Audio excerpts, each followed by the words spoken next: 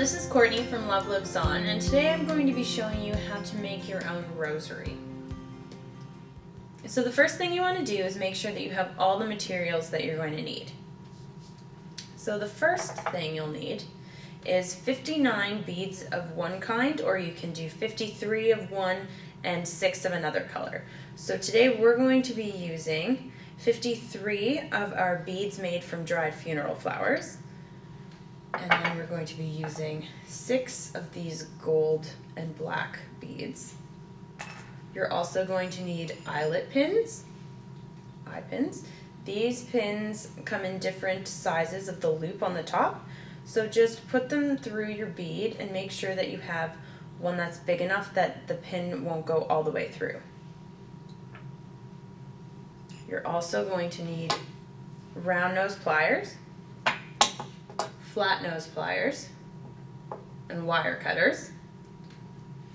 You'll also need a chain, a crucifix, a centerpiece, and three jump rings, which are these tiny little connectors right here.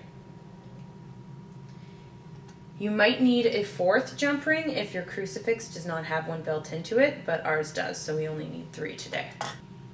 So the first thing that you're going to do is you're going to take one of your beads and take an eye pin, put it through the hole, and then you want to form another eye pin on the other side. So you're going to bend this.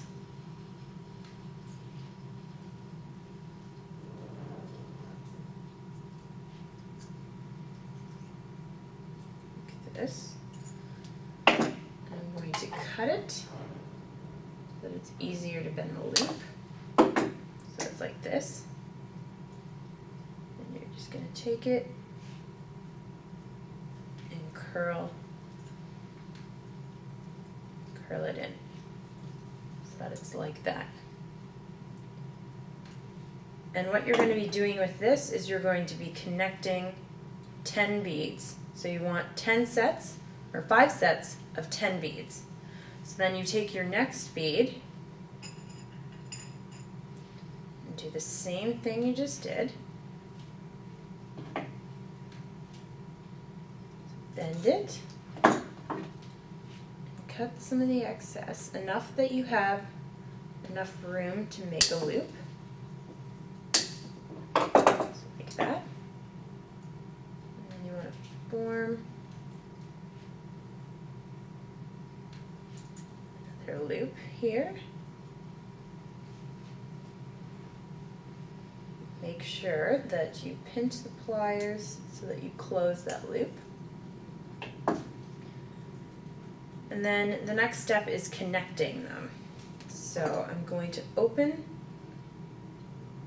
the end of the eye pin using my round nose pliers and take the hoop of the other bead with the eye pin and put it through.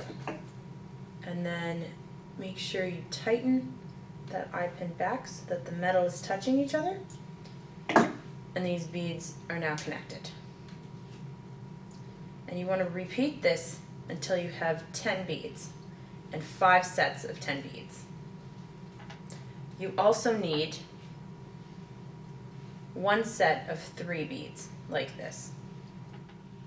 Once you have your 5 sets of 10 beads, that looks like this, and your one set of 3,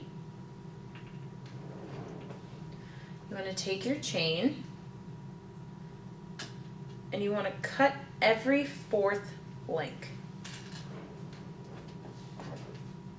So you count one, two, three, four. And so you have a piece of three links long. Put that off to the side. And you want to keep doing this until you have 14 three-piece long links. So one, two, three, four. One, two, three, and four.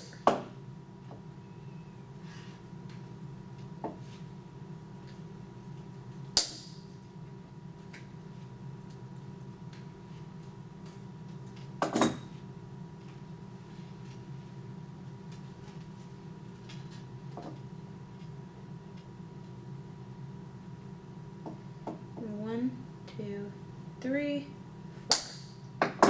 keep repeating this process until you have 14 links with three links in each set. Then you want to take your six different colored beads, ours are black and gold, and do the same thing that you did with your beads made from dried funeral flowers. So you take the eyelet, the eye pin, and poke it through.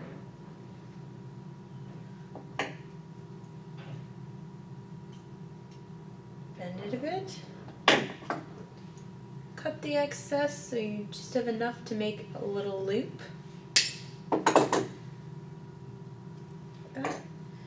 Use your round nose pliers to form a loop.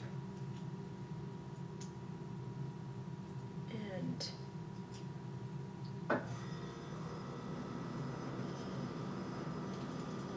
takes a lot of practice to perfect this.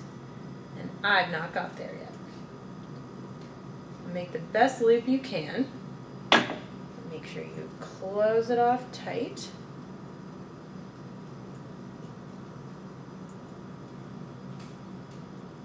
Instead of connecting them all together, like we did with these ones, you want to take one of your pieces of chain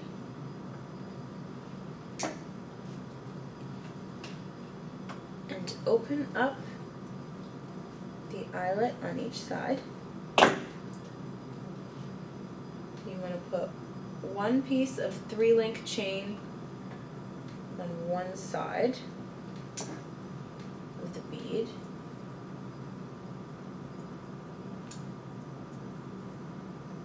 Like that and make sure that you tighten your eyelet, eyelid. And then you want to do the same thing on the other side. Just open the eye pin, put a piece of three link chain in, and then close it tight. And you want to do the same thing with each of the six beads. Once you've completed that for each of the six beads, you will have used 12 of the 14 of your pieces of chain link. Then you want to take one of your rows of 10 beads and you want to attach another piece of link to one of the ends. And then you want to do the same thing for another set of 10. So your two remaining chain links will be attached to one end of each set of 10, totaling two. Like so. Next you want to take your centerpiece and your tiny jump rings and you want to using your flat nose pliers and your round tip pliers just pull the jump ring apart and put it through the hoop of the centerpiece. There are three jump rings that need to be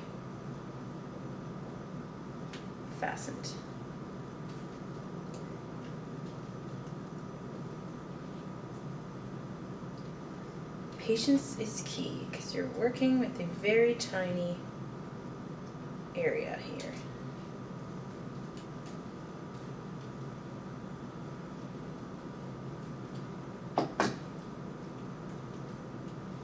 There's you are and you do the same thing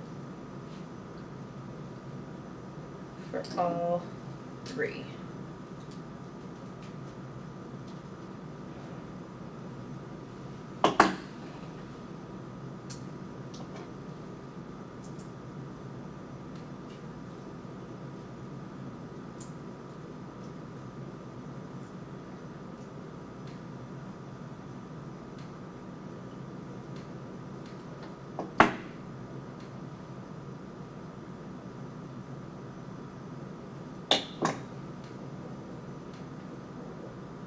like that.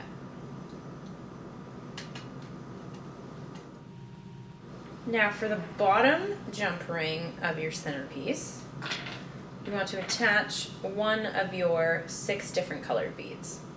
So again, you're gonna loosen that chain. Last chain ring.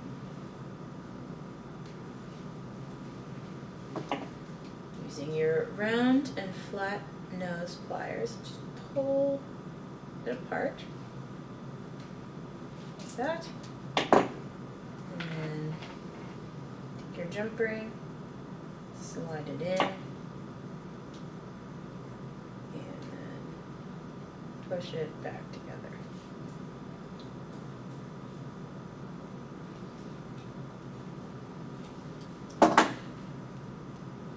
Make sure it's tight so it doesn't fall apart. So it looks like that. Then you want to take your set of three the beads made from dried funeral flowers and you want to loosen up this eye pin the top loop and just slide the end of this chain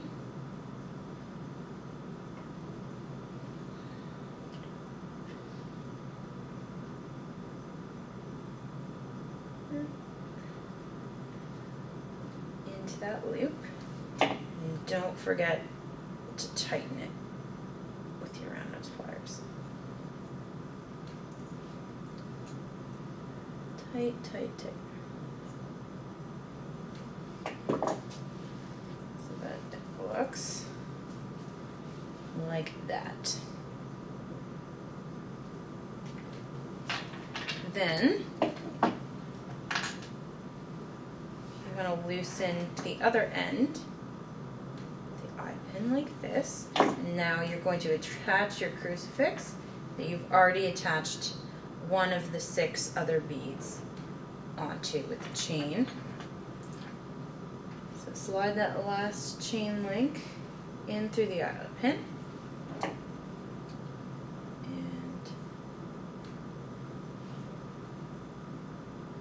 pinch to close it tight.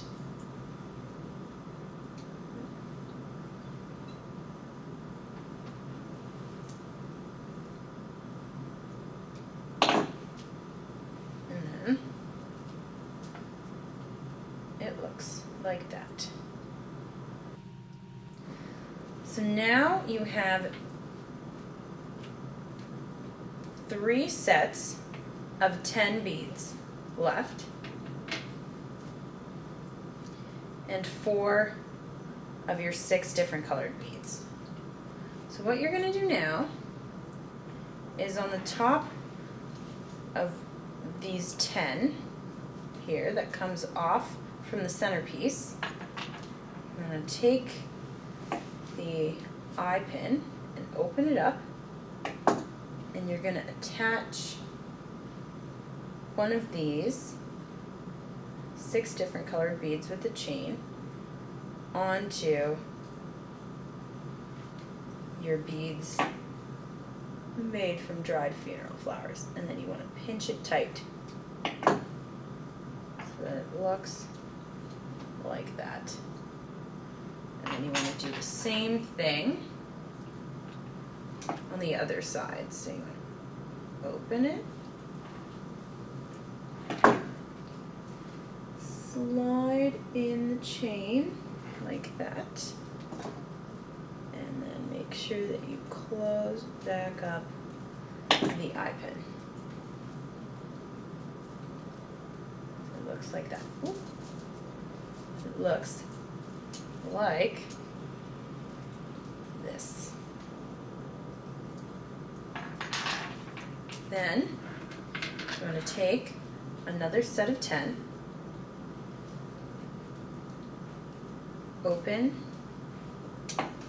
the eye pin on one end, and attach it to the other side of the chain coming out of that bead, different colored bead, and pinch it shut.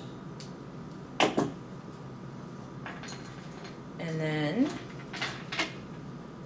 you're going to do the same thing again, attaching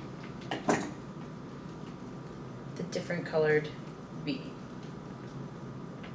So now all you're doing is alternating from adding a different color, one of the six different colored beads, to adding another row of 10, to adding another one of the different, six different colored beads, and then you're going to add another 10, another one of the different colored beads, another 10, and then attach them, and you're completely done. And once you've assembled the rest, this is your finished product. A beautiful handcrafted rosary.